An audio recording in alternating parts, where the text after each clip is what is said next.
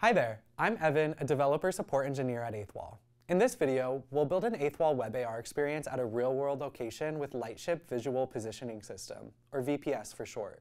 With VPS, developers have the ability to determine a user's position and orientation with centimeter-level accuracy in seconds. First, start a new project from the My Projects page. Give the project a name, and then, on the Quick Start menu, choose the A-Frame VPS template. This project already includes everything you need to start working with VPS. Before starting to work on our scene, we need to select a real-world location to build the experience at. We can browse over 100,000 existing VPS wayspots or create our own through the geospatial browser in the left navigation bar. You can also add private scans to the geospatial browser, which enables you to begin developing immediately while new wayspots are approved. We can click on different landmarks to preview the location's 3D scan meshes, and once we find a high quality mesh, we can add it to our project. We'll use Once Upon a Time for the purpose of this tutorial, but you should choose your own private scan or local wayspot. Let's add this wayspot to our project with the Add to Project button in the corner of the mesh viewer. Once it is added to the project, we can find and copy the wayspot name, which we will use in our code. The next step is to download our selected mesh as a GLB model. Let's change export settings to low poly, no texture to optimize for performance. This mesh will act as the occluder and the shadow material in our AR experience. We can also use it for desktop development or to visualize localization. Now that we've selected a location, added a wayspot mesh to our project, and have our model ready, we can begin building our AR experience.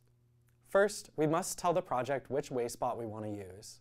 Locate the entity with the named wayspot component in body.html and replace my wayspot with the wayspot name from the geospatial browser. Recall we copied the project wayspot name earlier, we'll paste it here. Upload your downloaded model to the asset folder and set the source property of the A asset item with the ID VPS mesh. At this point, we should have a working VPS experience, but we haven't added any AR content. Let's verify that we're able to localize against our wayspot by removing the XR Extras hider material from the occluder entity.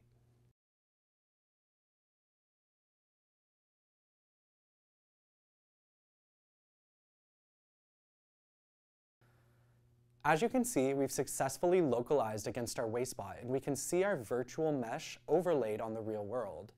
Let's add XR Extras hider material back on the entity so we can occlude AR content instead of visualize localization.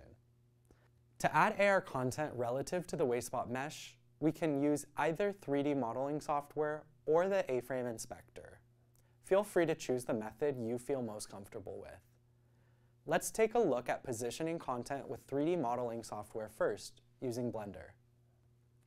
First, open the selected mesh in Blender. Next, we'll position a cube relative to the mesh. Finally, we'll delete the mesh and export the cube as a GLB. Now we can upload our cube to our 8th Wall project and update the source of the AAsset item with the ID VPS anim.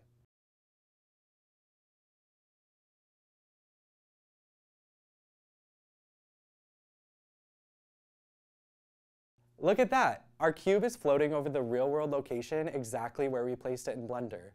Now, let's try doing the same thing, but with the A-frame inspector. We've developed a desktop development component which streamlines this process, already included in the project. This component simply removes all 8th Wall-specific components from the scene, allowing us to preview the mesh in a vanilla A-frame scene. Let's add the desktop development component to our A scene. Now, when we open the preview window, we see an A-frame scene instead of the 8th Wall landing page. Let's add a box relative to our mesh by adding it as a child of the entity with the named wayspot component. Now, let's move our focus to the preview window. We'll select the A box entity from the object hierarchy in the left pane of the inspector and begin playing with the position values until we find something we're satisfied with. It looks great here, now, we simply copy and paste these values into our code. To test it on our mobile device, we need to remove the desktop development component from our scene and save our project.